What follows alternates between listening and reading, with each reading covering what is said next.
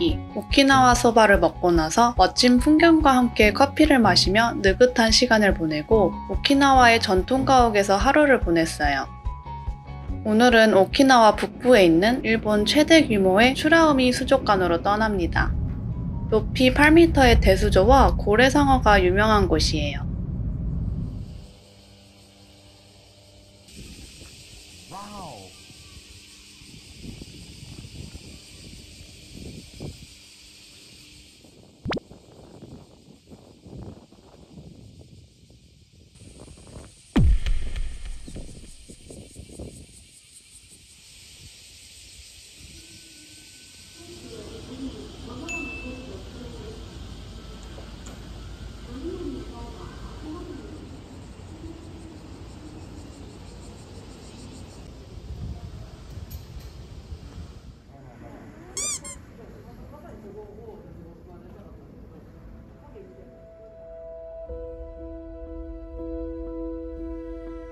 추라미 수족관은 오키나와의 바다를 재현해서 전시하는 컨셉을 가지고 있다고 해요.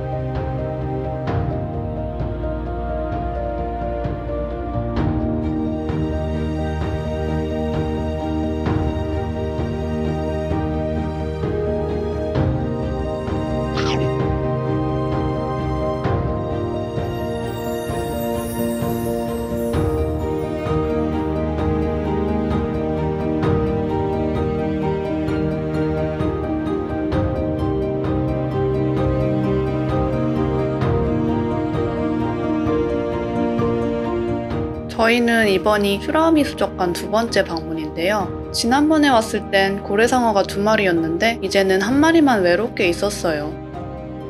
이 대수조 옆에는 카페가 있는데요. 음식을 먹으며 더 가까이에서 물고기를 관람할 수 있어요.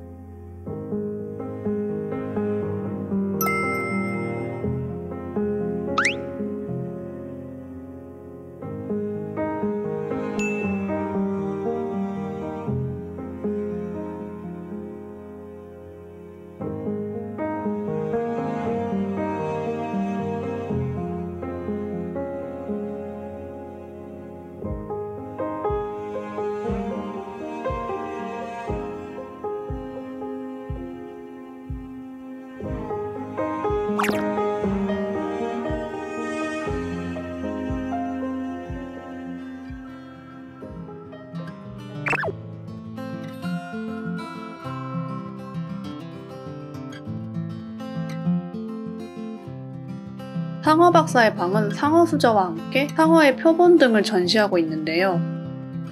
예전에 왔을 땐 상어 이빨을 만져볼 수 있는 체험전도 있었는데 이제는 눈으로만 구경할 수 있네요.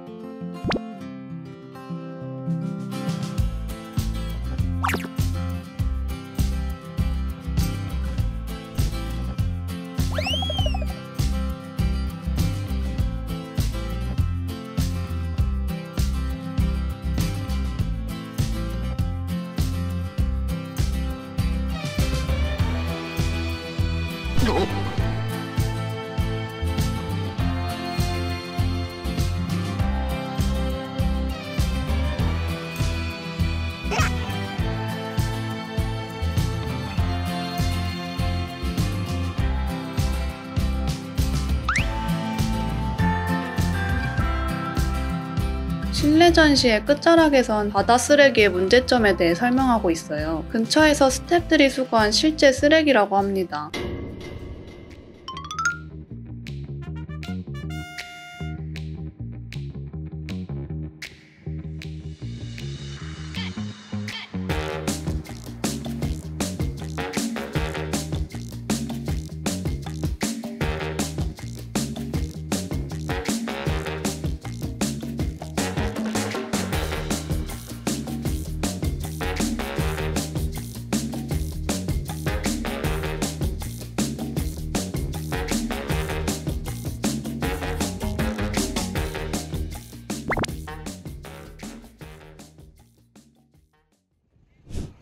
공연이 끝나고 돌고래 먹이 체험권을 구매하기 위해서 공연장 인근에 위치한 오키짱 샵으로 갔어요.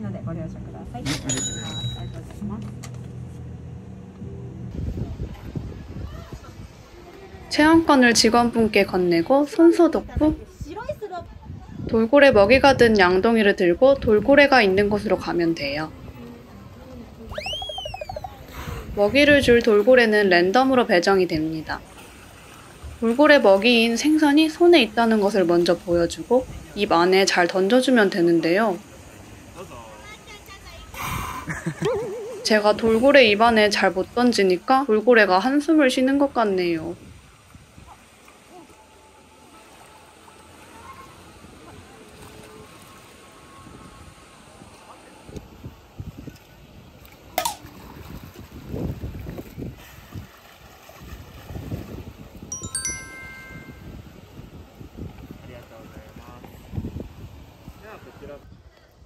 이제 다른 야외 전시도 보러 갑시다.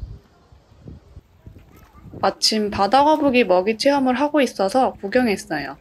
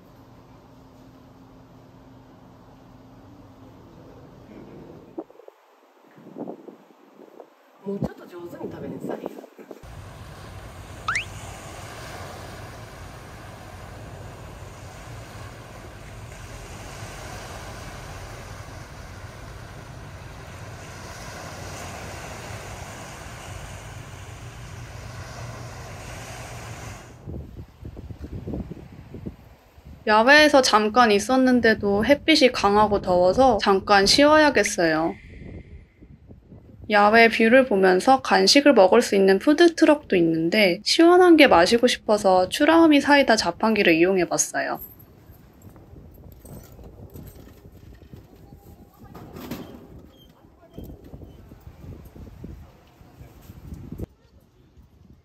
그 옆에는 군고구마 자판기가 있었는데요. 땡볕에 웬 고구마라고 생각했는데 차가운 군고구마도 있더라고요. 그래서 차가운 군고구마도 구입해 봤어요.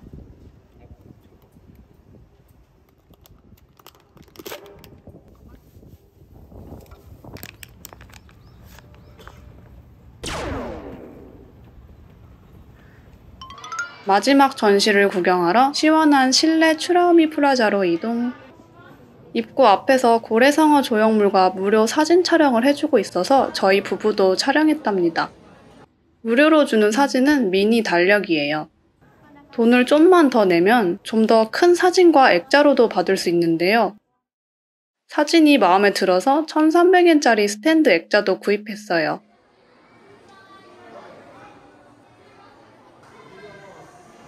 이곳은 거대한 해양 생물들의 표본들을 전시하는 곳이에요.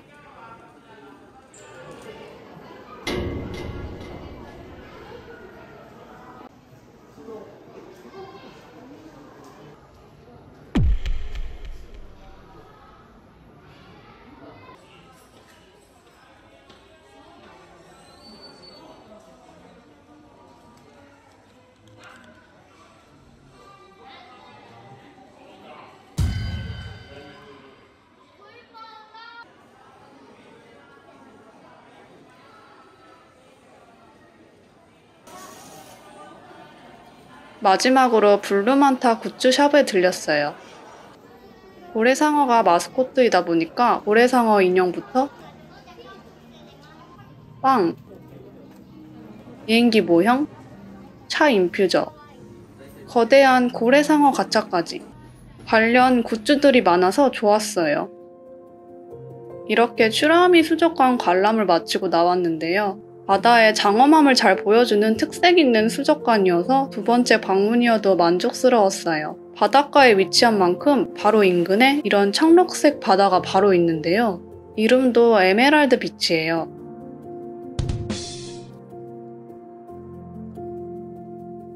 일본 최대 규모의 대수조에서 거대한 고래상어를 볼 수 있었던 추라우미 수족관.